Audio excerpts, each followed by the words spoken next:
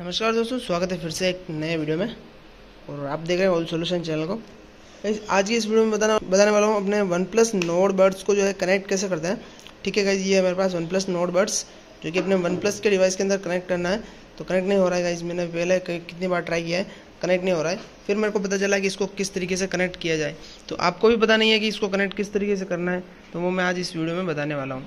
ठीक है दोस्तों, आप लोग क्या करना है? सबसे पहले अगर आप फ़र्स्ट बार जो इसको यूज़ कर रहे हो मतलब इसको कनेक्ट करने की कोशिश कर रहे हो, पर नहीं हो रहा है कनेक्ट मतलब किसी और ने कनेक्ट कर रखा है फ़र्स्ट बार और सेकंड बार आप अगर कनेक्ट करना चाहते हो तो इसके अंदर ऐसे कनेक्ट नहीं होगा। इसलिए आपको कुछ सेटिंग करनी पड़ेगी तो उस सेटिंग में आपको बताऊँगा। तो वीडियो को आपको एंड तक बने रहना है। ठीक है दोस्तों वीडियो अगर पसंद आवे तो लाइक ज़रूर करना। ठीक है चैनल बनाया तो सब्सक्राइब कर लेना। शुरू करते हैं आज की इस वीडियो को। दोस्तों, सबसे पहले आप लोगों को क्या करना है, आपको ब्लूटूथ ओपन कर लेना है। ब्लूटूथ खोल देना है अपने को।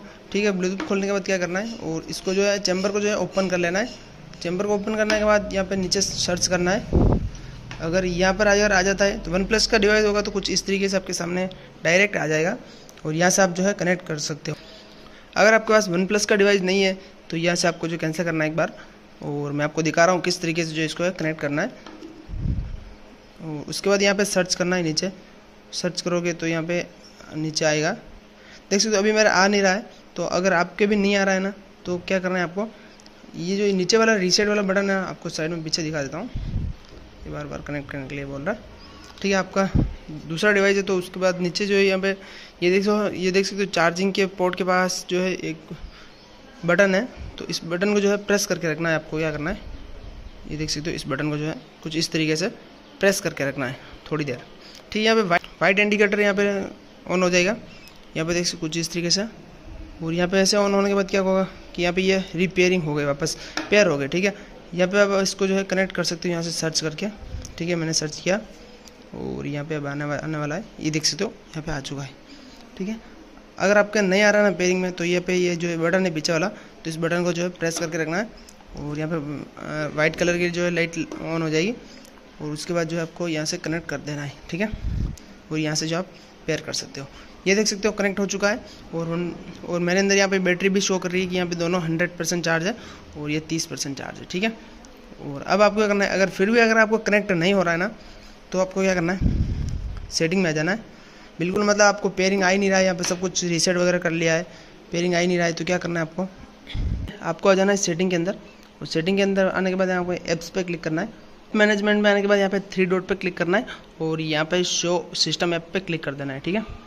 शो सिस्टम ऐप पे क्लिक करने के बाद यहाँ पे आपको सर्च करना है ब्लूटूथ ठीक है? ये देख सकते हो ब्लूटूथ आ चुका है।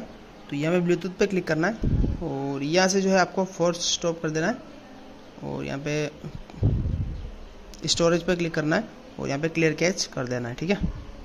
ये दोनों आपको कर देना है क्लियर डाटा ठीक है? कुछ इस तरीके से करने के बाद क्या करना है? आपको कर देना है क्लियर और उसके बाद जो है आपको कर देना है ब्लूटूथ ऑन और ब्लूटूथ ऑन करोगे तो और उसके बाद वापस आपको इसको जो है एयरबड्स को जो है प्रेस करके रखना है बटन को।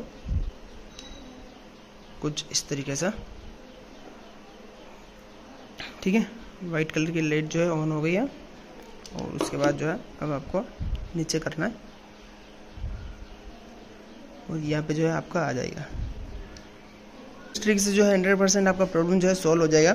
अगर आपको प्रॉब्लम सॉल्व हो गई हो तो कुछ भी दिक्कत आ रही हो तो हम कमेंट करके बताएँ। उसमें मैं वीडियो बनाऊँगा जल्द से जल्द। और ये देख सकते हो मेरे वन प्लस बर्ड से आ चुके हैं। और यहाँ से जो है मैं कनेक्ट कर सकता हूँ ठीक है दोस्तों, मिलते हैं नेक्स्ट वीडियो में। अगर आपका प्रॉब्लम सॉल्व हो गई हो तो धन्यवाद।